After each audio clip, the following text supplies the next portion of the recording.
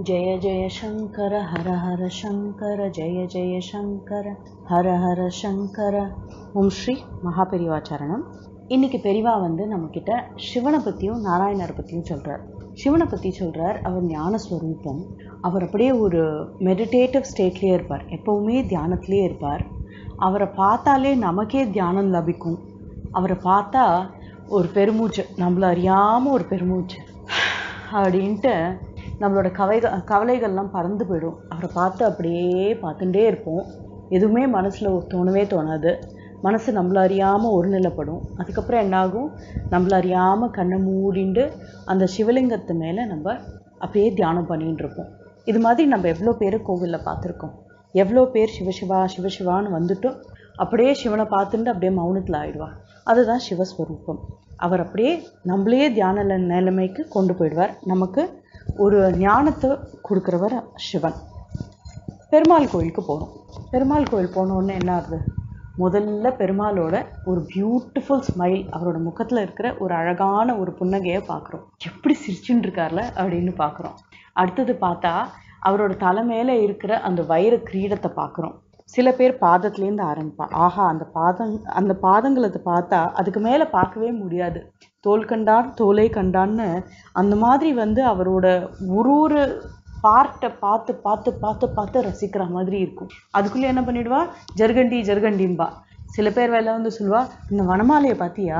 இன்னைக்கு பார்த்தியா? தாமிர மாலை போட்டுட்டு இருந்தார். இன்னைக்கு அந்த துளசி மாலையை பார்த்தியோ அப்படின்னு ஆளுக்கும் ஒன்று ஒன்று ஒன்று ஒன்று பார்த்துருப்பா. எல்லாரும் சேர்ந்து எல்லாத்தையும் பெருமாளை பார்த்ததாவே இருக்காது.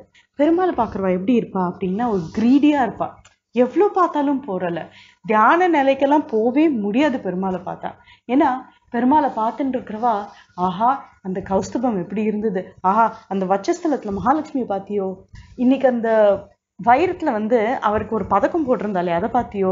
அவரோட அந்த நந்தக்கம் அப்படிங்கிற அந்த கத்தியை வச்சிருந்தானே நடுவுல அதை பார்த்தியோ? இந்த வரஹஸ்தத்தை பார்த்தியோ? எதை கேட்டாலும் கொடுக்கறதுக்கு ரெடியா இருக்காருப்பா. என்ன அழகு இல்லை பெருமாள் எப்படி சிரிச்சுட்டு இருக்காருல அவரோட சங்கும் சக்கரமும் வச்சுட்டு அந்த பெருமாளை பார்த்துட்டே இருக்கணும் போல இருக்கு. பா எப்படி நிற்கிறார் இந்த உலகத்துக்கெல்லாம் அவர் தான் ஜா ராஜா ஜெகநாதர் அவர் தான் அப்படின்னு சொல்லி பெருமாளை வந்து நம்மளால வந்து அப்படியே வந்து அந்த ம அழகுல மயங்காம இருக்கவே முடியாது. அவ்வளோ ஒரு மோகிக்கிற ரூபம் தான் நம்மளோட பெருமாள் அப்படின்னு இருப்பாள் இங்க சிவன் அப்படியே தியானத்துல நம்மளை கொண்டு போயிடுவார். நம்மளோட மனசு இப்படி அப்படியே ஆடாது. நம்மளோட கவலைகள்லாம் அப்படியே போயிடும். அவர்கிட்ட அப்படியே போய் அடங்கிடும். மனசு அப்படியே கம்ப்ளீட்டாக போய் அடங்கிடும். அந்த கோவிலில் இருக்கிற அந்த ஒரு ஃபியூ மினிட்ஸ் நம்மளை யாரும் ஜர்கண்டியும் சொல்ல மாட்டாங்க. அந்த இடத்துல போய் அந்த கோவிலில் போய் இருக்கிற ஃபியூ மினிட்ஸ் நம்ம உலகத்தையே நம்ம மறந்துடுவோம் ஆனால் பெருமாளை பார்க்குறவா இந்த குழந்தையெல்லாம் வந்து ஒரு திருவிழாக்குள்ளே போனால் அந்த பஞ்சு மிட்டாய்க்காரனையும் பலூன்காரனையும் பார்த்தா எப்படி வந்து ஒரு சந்தோஷப்படும் ஒரு உற்சாகப்படும். அது மாதிரி நம்மளோட மனசு உற்சாகப்படும். அவரை பார்த்து பார்த்து பார்த்து பார்த்து ரசிப்போம். ஆஹா இன்னும் பார்க்க மாட்டோமா? இன்னும் பார்க்க மாட்டோமா? இன்னும் பார்க்க மாட்டோமான்னு ஆகிடும் இப்படிப்பட்ட பெருமாள் ஒரு மோகினி அவதாரத்தில் வந்தார்னா அவர் எப்படி இருப்பார்? இல்லையா? அவரே மோகிக்கணும்னு டிசைட் பண்ணி வந்தார்னா இவருக்கு அது வேற ஒரு குறையா அப்படின்னு நமக்கு தோணும். அந்த மாதிரி ஒரு மோகிக்கிற அவதாரத்தில் வந்தபோது அந்த ஞானஸ்வரூபமான சிவனே அந்த பரமேஸ்வரனே மயங்கி போயிட்டாராம். அவரே மோகிச்சு போயிட்டாராம். அந்த மாதிரி மோகிச்சு போன அந்த பரமேஸ்வரனுக்கும் அந்த மோகினி அவதாரத்தில் இருந்த அந்த நாராயணனுக்கும் பிறந்தவர் தான் ஐயப்பன் அப்படின்னு சொல்லி பெரியவா சொல்கிறார் இந்த ஐயப்பன் அப்படிங்கிற வார்த்தை ஆரியன் அப்படிங்கிறதுலேருந்து வருது அப்படி தெளிவாக சொல்கிறான் ஆரியன்னா என்ன அப்படின்னா ஆரியன் அப்படிங்கிற வார்த்தைக்கு லீடர் யாரை பார்த்தா நமக்கு ரெஸ்பெக்ட் வருமோ யாரை பார்த்தா நமக்கு மரியாதை வருமோ அவாதான் ஆரியன் அப்படின்னு சொல்லி பெரியவா அதுக்கு அர்த்தமும் சொல்கிறான் ராமாயணத்துல சீத்தை ராமரை பார்த்து ஹே ஆர்யா அப்படின்னு கூப்பிடுறா. அப்படின்னா என்ன அர்த்தம்? நான் யாரை பின்தொடர்ந்து போவேனோ?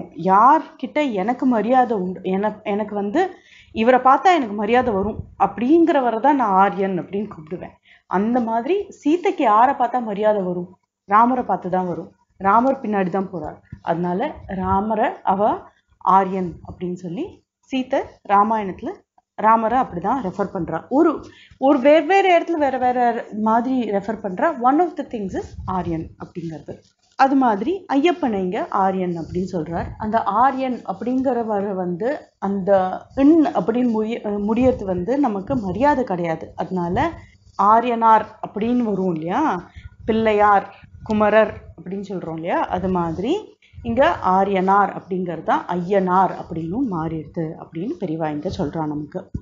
ஒரு ஒரு கிராமத்துக்கும் காவல் தெய்வமாக நமக்கு இருக்கிற ஐயனார் அப்படிங்கிறவர் நம்மளோட ஐயப்பன் தான் அப்படின்னு சொல்லி பெரியவா சொல்லி அவர் நம்மளை காப்பாற்ற வந்தவர்.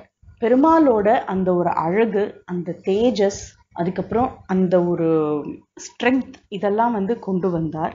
சிவன் கிட்டேருந்து அந்த க்ஷாத்திரம் அதுக்கப்புறம் அதாவது அந்த எபிலிட்டி டு ஃபைட் அந்த ஒரு ஒரு தைரியம் அந்த க்ஷாத்திரம் அப்படிங்கிறது வந்து ஒரு சோல்ஜருக்கு இருக்கிற ஒரு குணம். அந்த க்ஷாத்திரம் அதுக்கப்புறம் அந்த ஞானம் நம்மளை கரையேற்றுறதுக்கான அந்த ஞானம் அதையும் கொண்டு வந்தவர் தான் இந்த ஐயப்பன். அந்த ஐயப்பன் அதனால தான் ஒரு ஒரு கிராமத்துலேயும் காவல் தெய்வமாக இருந்து நம்ம எல்லாரையும் காப்பாத்தின்னு இருக்கார் பெருமாள் மாதிரி நம்மளை காப்பாத்துறார்.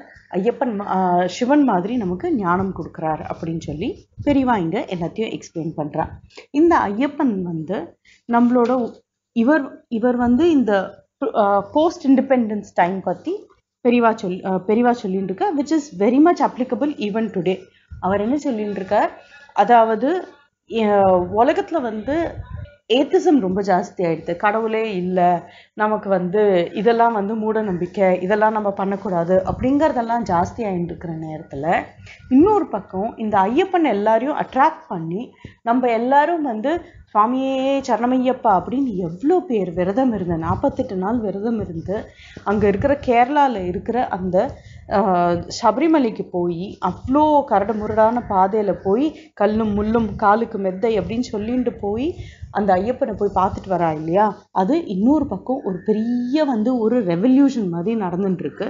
அந்த ஐயப்ப பக்தி வந்து நாளுக்கு நாள் வந்து பெருசாயிண்டே போகுது.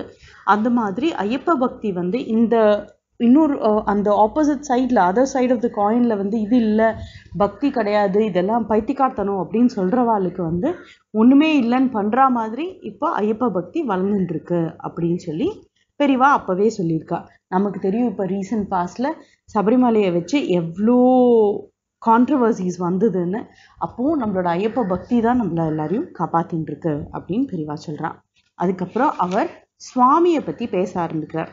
நீங்கள் எந்த சுவாமி வேண்டிக்கிறேன்? சுவாமினா யாரு? பகவானு தான் சுவாமின்னு சொல்கிறோமா பெரியவா என்ன சொல்கிறான்னு பார்க்கலாமா? ஜெய ஜெய சங்கர ஹர ஹர சங்கர ஜெய ஜெய சங்கர ஹர ஹர சங்கர. ஓம் ஸ்ரீ மகா